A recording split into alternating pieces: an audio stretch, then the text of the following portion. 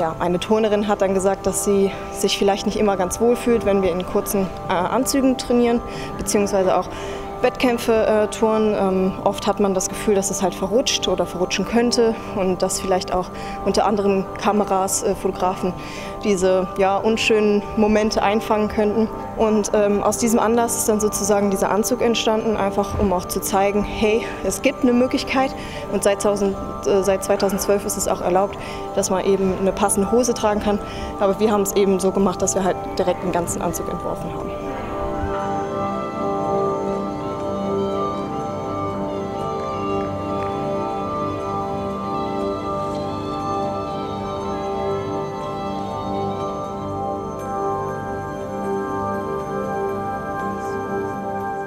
Ja, mit dem Turnanzug wollten wir vor allen Dingen auch äh, zeigen, also so eine Kampagne It's My Choice.